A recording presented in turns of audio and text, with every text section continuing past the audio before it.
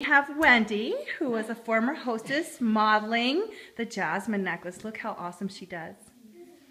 And my mom was from Liverpool, a port city, and she used to always say, because the fishermen's wives used to say, my fella likes fish.